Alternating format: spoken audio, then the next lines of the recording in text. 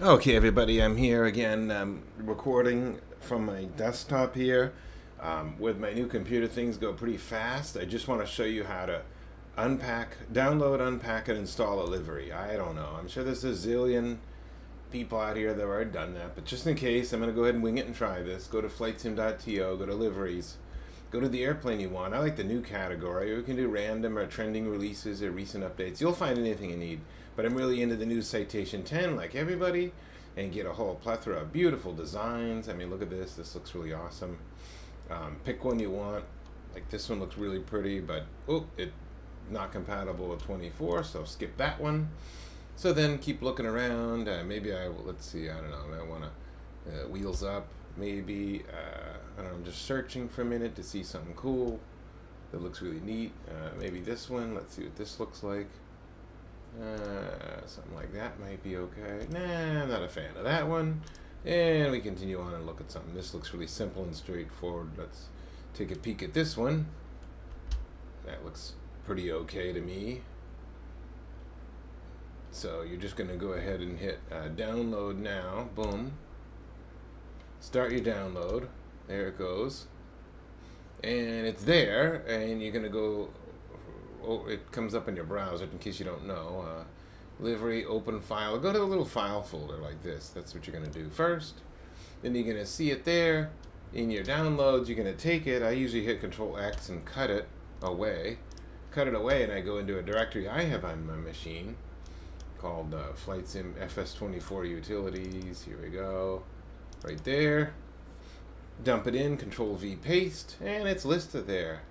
Then to unpack the livery, you simply right-click it through Windows and hit Extract All. When you hit ex Extract All, it's going to put it into its own folder right in your utility directory if you like. Hit Extract, bang, and there it is. There's the unpacked livery file. Two things, you can copy and paste it into Community or cut it and paste it. To save hard drive space, I cut it. So let's highlight it first, Control X, cut, Get rid of those, go into my community directory over here for Flight Sim 24, hit Control V, paste, and there it is. It's in there with all my other liveries I have at the time. Alright, I am going to go ahead and double click on my Flight Sim 24 starter and get Flight Sim 24 started. I will pause this video and be back in a second. Okay, everybody, we're back here. Uh, I'm I'm such a neophyte, brand new at YouTube. I learned how to pause in between. So anyway, we got Flight Sim 24 started again just a few seconds later. Uh, I'm gonna uh, show you how to do these liveries. So hit Start uh, and go to uh, Free Flight and pick the jet you want. Flight Sim, uh, I mean the Citation 10 with the winglets version, and we're gonna go over to uh, Configure here.